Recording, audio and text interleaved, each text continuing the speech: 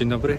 Dzisiaj tak, polno-kwiatowy i wybrałem się tutaj w mojej okolicy, gdzie mieszkam, prawie centrum Amsterdamu, poszukać roślin, które Ania wymieniła w swoim tagu polno-kwiatowym, bo dzisiaj go zrobię i zobaczymy, co uda mi się znaleźć. Jak znajdę, to opowiem Wam o danej książce.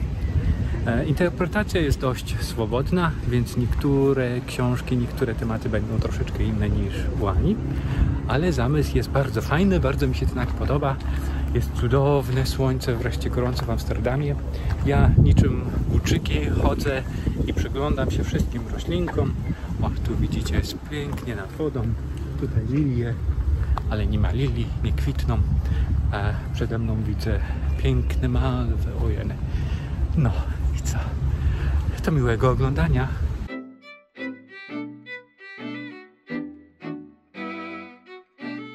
Jestem już w domu, udało mi się znaleźć wszystkie rośliny, które potrzebuję i to nie dalej niż 5 minut spacerem od miejsca, gdzie mieszkam, a to jest prawie że centrum Amsterdamu, więc bardzo się cieszę, że e, tak polno-kwiatowy mogę zrealizować w środku miasta. Hm. E, bardzo, bardzo się z tego cieszę. E, Jest tutaj 8 roślin, tak jak w tagu Ani. E, Wybrałem książki różne tematycznie, różnych gatunków, więc co? Przechodzimy do pierwszej książki. Pierwszej książki, pierwszej kategorii jest to zboże. Zboże, które kojarzy się od razu z jedzeniem, z chlebem, z pożywieniem. I książka, która przyszła mi na myśl, jest to książka Ann Applebaum, Czerwony Głód.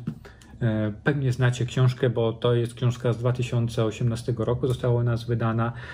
Wstrząsająca lektura, która pokazuje, e, jak zboże, jak jedzenie, jak, jakie ono ma wielkie znaczenie dla człowieka, i jak ono może być, jakim jest w zasadzie, e, potężnym działem mm, politycznym dla różnych przywódców, tutaj akurat dla Stalina. E, Wstrząsająca lektura, nie tylko traktuje ono o zbożu, jest mnóstwo przerażających historii tutaj. Przechodzimy do kolejnej kategorii, e, którą są czerwone maki. I w internecie znalazłem sobie, że e, czerwone maki są to symbol, jest to symbol e, radości, przyjemności, zainteresowania. No i nie mogło być tutaj nic innego. Ta książka się u mnie pojawiła kilka razy w tagach wszelakich, ale muszę o niej jeszcze raz powiedzieć, bo nigdy, nigdy dość. Mikołajka. Mikołajek e, to taki czerwony mak, to taki e, pogodny chłopiec, który ma mnóstwo pytań. Tu mam trochę ubruconą, e, ale pokażę Wam inną książeczkę, jaką mam Mikołajka. Jest to taka i jest. O. O, o, o. Widzicie? Rozkładana. Któż nie zna Mikołajka, e, jego przygód z dyrektorem, e, z Alcestem, e, z ojcem, mamą, no kurde, blade. Tak nie może być. To dla mnie taka pogodna książka, że jak widzę e, czerwone maki na, na łące, na polu, no to na myśl przychodzi, przychodzi mi Mikołajek. O, taka książka. Świetne, polecam. Dla każdego, w każdym wieku i e, rozrywka i hum, poprawiacz humoru gwarantowane. Kolejną kategorią jest haber. Haber, czyli bławatek albo modrak, jak to u mnie się mówiło pod Poznaniem. E, I tutaj miałem trochę kłopotów, bo nie wiedziałem jakim, pod jakim kluczem wybrać książkę, czy wybrać pod habrową okładką, e, czy wybrać, e, jak w ogóle ogarnąć ten temat, jak sobie go skojarzyć. I postanowiłem poszukać w internecie znaczenia habra, bławatka, to jest symbol wierności i stałości. I mi od razu na myśl przyszedł pan Tadeusz i Zosia. Jest to taki doskonały obraz e, wierności i stałości. E, Zosia w Pana Tadeuszu to e, postać taka idealna, można powiedzieć. Postać, dla której e, buduje taki mit wspaniałej, młodej kobiety, która pójdzie w ogień za swoim mężczyzną, będzie na niego wiernie czekać w domu i sprawi, że ten świat tego mężczyzny stanie się piękniejszy, ładniejszy i wszyscy będą dookoła uśmiechnięci. Tak to mi naszło na myśl. Właśnie I nawet pasuje ten Hawer do pana Tadeusza, bo to też taki, takie klimaty. Czwartą kategorią jest oset. Oset, czyli symbol kary, symbol potępienia, nieszczęścia i jest to roślina taka kująca, taka wydawałoby się taka nieprzyjemna, ale tu wam coś powiem na marginesie. Czy jedliście kiedyś oset? Ha, a powiem wam, że ja jadłem. E, w Hiszpanii e, oset jest normalnie jedzony, e, jest obierany gotowany i podawany coś jak szparagi, jak kapusta, nie wiem, gotowana. Bardzo dobry, bardzo lubię. Już nie mogę się doczekać swojej wakacji w Hiszpanii, żeby e, po raz kolejny zjeść oset na, jako przystawkę. No, to tak e, na marginesie, ale miało być o książkach, bo to nie jest blok kulinarny. Oset to tutaj wybrałem książkę Barbary Kings of Olver, Denon Copperhead, Możecie kojarzyć tę książkę, bo ona była bardzo popularna w ubiegłym roku. Dużo się o niej mówiło, że to taki współczesny David Copperfield e, Charlesa Dickensa i coś w tym jest. E, tutaj główny bohater boryka się z problemami, e, uzależnieni od opioidów, nieszczęśliwa rodzina, porzucenie adopcyjna rodzina, dom zastępczy i pełno mnóstwo decyzji, które takie są, no nie są zbyt najszczęśliwsze. No tak się czyta tą książkę, to tak jakby się ciągle było takim e, ostem, e, ktoś by nas ciągle biczował, że już w pewnym momencie mamy dość. E, ja miałem generalnie książka mi się podobała, ale w pewnym momencie miałem taki przesyt, że mówię za dużo tego wszystkiego, za dużo tego nieszczęścia, za dużo tych tych takich perypetii, które sprawiają, że nasz bohater jest tak ciągle obkładany, biczowany tym ostem, e, ale dotrwałem do końca i muszę powiedzieć, że jednak książka mi się podobała, z, tym, z niektórymi zastrzeżeniami, że można by było ją trochę skrócić, by było mniej męcząco, ale chyba przez to, że zostaje w głowie, bo jak się raz pokujecie ostem, to już zapamiętacie na zawsze, że jednak warto go omijać, warto się wystrzegać tego błędu. Następną kategorią jest koniczyna, symbol nadziei, wiary, miłości i szczęścia. I tak myślałem, co tutaj e, książka, o która by pasowała. I tak wpadła mi na myśl e, taka seria, którą czytałem jakiś czas temu. I to powiem Wam, że takie czytadło na lato bardzo fajne, które mi się spodobało. Była to książka Anety Jadowskiej, cykl e, Garstka z Ustki. Jest to Trup na plaży, inne sekrety rodzinne, Martwy sezon i idę nad wieczorową porą. Tutaj mamy Magdę Garstkę, która e, przeprowadza się do swojej babci e, i razem z nią prowadzi taki hostel, hotel w Ustce. No i ma on swoją tajemnicę, ma on swoje takie, jakby powiedzieć, drugie dno, które sprawia, że odżywa w nas nadzieja, e, pojawia się szczęście.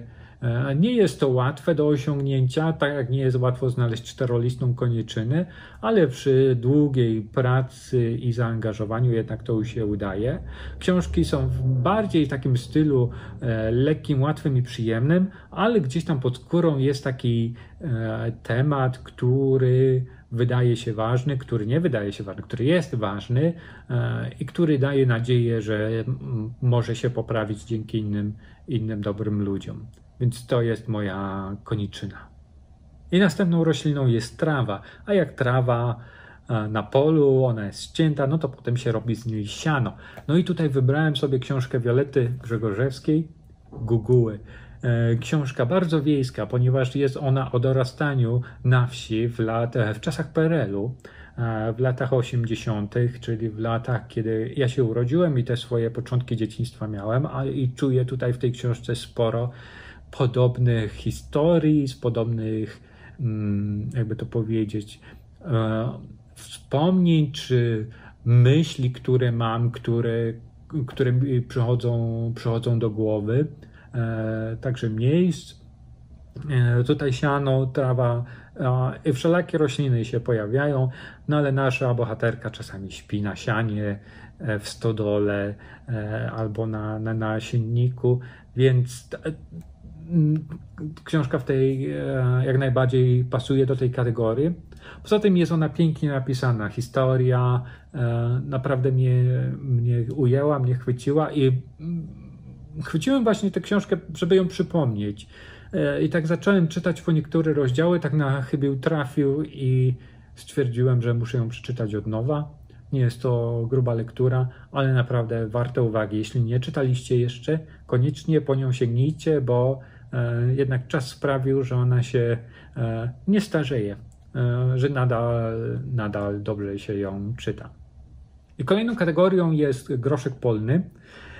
I tak pomyślałem, jak ten temat ugryźć, bo najpierw e, szedłem śladem, e, żeby wziąć pod uwagę zapach, kolor, ale obejrzałem sobie wykonanie tego tagu Kinczyta, który bardzo Wam polecam. Tam jest e, jedna interpretacja wiersza, jest genialna normalnie, jestem pod wielkim wrażeniem. I wybrałem sobie strąg, właśnie, który się później tworzy z tymi groszkami jako zbiór opowiadań, jako zbiór e, treści wszelakich. E, Śmiech i śmierć Adrian Tom, e, Tomain. Mamy tutaj sześć takich nowelek niepowiązanych ze sobą historii, które opisują życie współczesnego człowieka, e, współczesnego, czyli żyjącego w XXI wieku, e, problemy, jakie może mieć. Są to problemy nie tylko e, jeśli chodzi na przykład nie wiem, o finanse, ale też problemy psychiczne, problemy e, z pewnością siebie, problemy wychowawcze e, no ale też pokazują się tutaj pewne smutki, radości, że nie jest tak e, całkiem pesymistycznie. E, bardzo mi się podobały wszystkie. Ciężko tutaj mi wybrać, która, która z tych takich nowelek graficznych mi odpowiadała najbardziej. Ale kreska jest bardzo czysta historie są bardzo klarowne, te, te naprawdę e, te, te, te rysunki uzupełniają, uzupełniają treść albo odwrotnie, chociaż nie jest to e, takie jednoznaczne. Bardzo mi się podoba, jak to zostało stworzone i bardzo Wam polecam. E, sięgajcie po komiksy. I ostatnią rośliną jest babka lancetowata. E, czyli roślina, która pomaga leczyć rany, pomaga goić, zagoić ból. E, I tu przyszło mi na myśl od razu wiersz. Nie mogło się obejść bez wiersza. E, jest to wiersz Adama Zagajewskiego. Wiersz, który pojawił się w amerykańskim New Yorkerze po zamachu z 11 września E, który ugruntował właśnie pozycję Zagajewskiego jako jednego z najważniejszych współczesnych e, poetów. A ten wiersz to spróbuj opiewać okaleczony świat. Spróbuj opiewać okaleczony świat. Pamiętaj o długich dniach czerwca i o poziomkach i kroplach wina rosé, o pokrzywach, które metodycznie zarastały opuszczone domostwa wygnanych. Musisz opiewać okaleczony świat. Patrzyłeś na eleganckie jachty i okręty. Jeden z nich miał przed sobą długą podróż, na inny czekała tylko słona nicość.